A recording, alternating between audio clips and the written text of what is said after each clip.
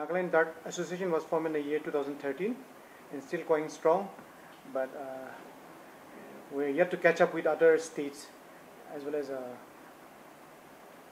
in mainland India. Um, competitions are going on. Uh, Kolkata, I, I should say Kolkata uh, is picking up very fast with the dart community. Um, and here we are uh, participating in Kolkata as well as Varanasi starting from tomorrow till the 21st. So thank you so much. Uh, I'll take, I'll give the time to our president.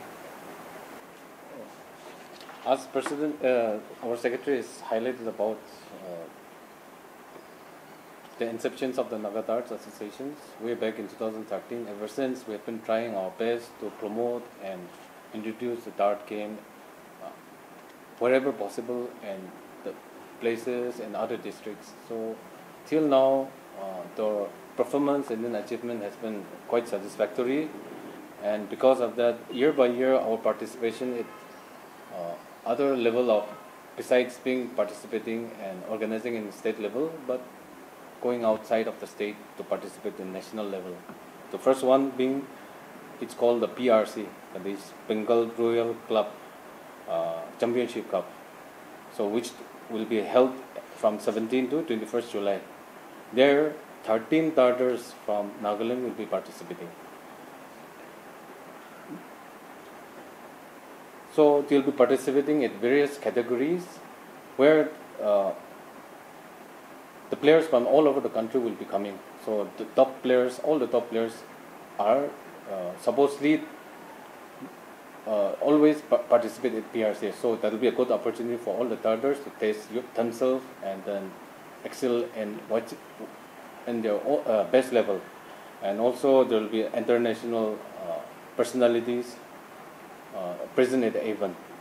And next one will be coinciding with the PRC Calcutta event. There will be another event which is organized by all India Dart associations, where they are going to organize three major categories.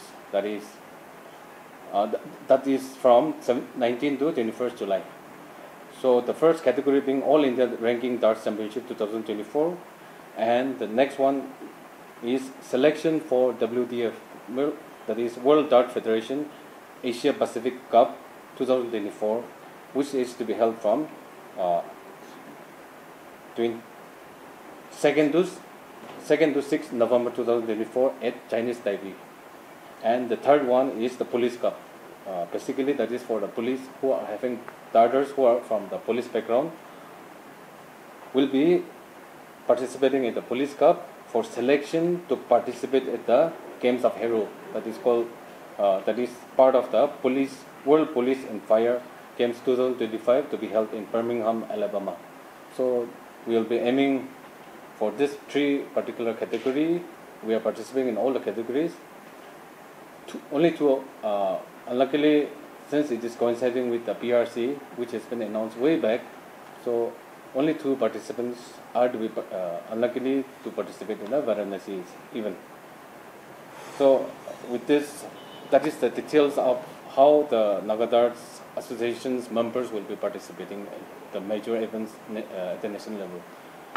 So today, as a gesture, as a small gesture of goodwill to the participants, uh, today we will also like to unveil a jersey. As you all know, we are struggling and financially we have been supported only by the members' donations as well as by the will wishers. So, uh, association cannot do much at the moment, but as a token and carrying the banner of Nagadarts, we would like to uh, unveil the participants' uh, jersey. So, since many of them are on the preparations and they, they are busy preparing to for the onward journey, many of them could not turn up today. But on behalf of all the participants, I would like to request our always will wishers and then the supporter, big supporter of Nagadarts, the proprietor of Indian Trails, take the honor of unveiling the jersey. And I would request Mr. Vikor, one of the participants, to come and receive the jersey.